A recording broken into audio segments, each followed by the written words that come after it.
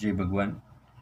આજે આપણે ગેસ અને એસિડિટી માટે મેથીના દાણા બાંધવાની રીત અને એના પ્રયોગો વિશે વાત કરીશું. જે લોકોને સતત વાયુનો પ્રોબ્લેમ રહેતો હોય, એને આ રીતે વચ્ચેની મોટી આંગળીમાં વેઢાની નીચે એક ટપકું ને અહીં એક ટપકું કરી રાખવું, જેથી એને મેથી બાંધવામાં ખ્યાલ આવે.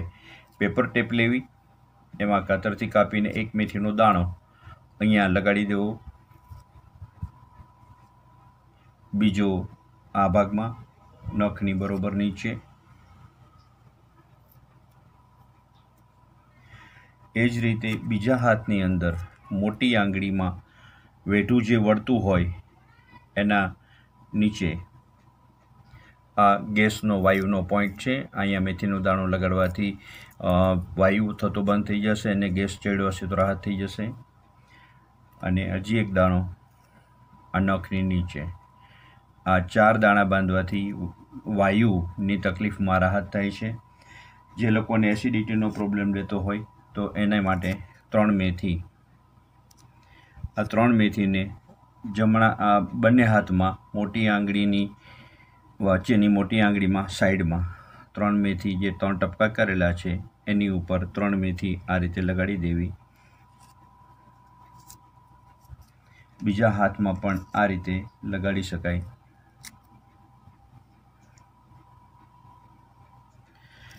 આ ત્રણ મેથી બાંધવાથી લીવરની કોઈપણ તકલીફની અંદર એસિડિટી માટે વેરિકોઝ વેઇન માટે ફેટી લીવર માટે, જ્યાં બ્લડ સર્ક્યુલેશન ઓછું હોય એના માટે, કોઈપણ સ્નાયુ અને સાંધાના દુખાવા માટે આ ત્રણ મેથી ફાયદાકારક છે. આ કાયમી ત્રણ ચાર મહિના બાંધો તો ફેટી લીવરમાં રાહત થાય છે. લીવરના કોઈપણ પ્રોબ્લેમ માટે ત્રણ મેથી એસિડિટી તરત જ એનાથી ઓછી થઈ જાય છે અને એક એક દાણો મેથીનો બાંધવાથી વાયુનો પ્રોબ્લેમ દૂર થાય છે. આ ચારથી છ કલાક આ દાણા રાખી શકાય. જે બહેનો પ્રેગ્નેન્ટ હોય, એ એકથી બે કલાક સુધી આ પ્રયોગ કરી શકે. જે લોકોને વધારે તકલીફ હોય તો રાત્રે લગાડીને સવારે કાઢી અને દાણા ટોયલેટમાં નાખીને ફ્લશ કરી દેવા, પટ્ટી ડસ્ટબિનમાં જવા દેવી. આ પ્રયોગ નિર્દોષ છે, બધા લોકો કરી શકે છે. આની સાથે જે ઉપચાર છે, તે આની પાછળ મૂકેલા છે અને ડિસ્ક્રિપ્શનની અંદર એનું પૂરું લખાણ છે, એટલે એ પણ તમે વાંચી શકશો.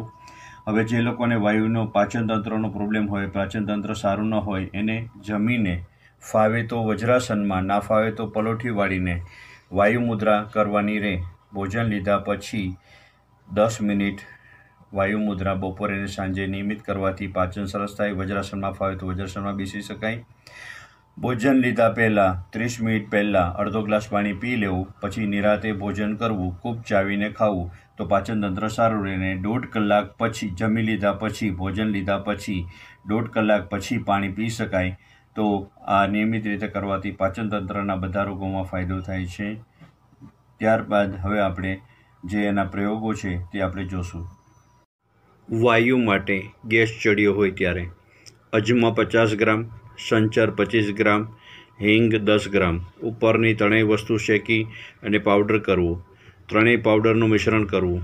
બપોરે સાંજે જમીને અડધા કપ હુંફાળા પાણીમાં ચણા ભાર એટલે કે આઈસ્ક્રીમની ચમચીથી અડધો પાવડર નાખી અને પી જવું. તેનાથી ગેસ અને વાયુમાં ફાયદો થશે.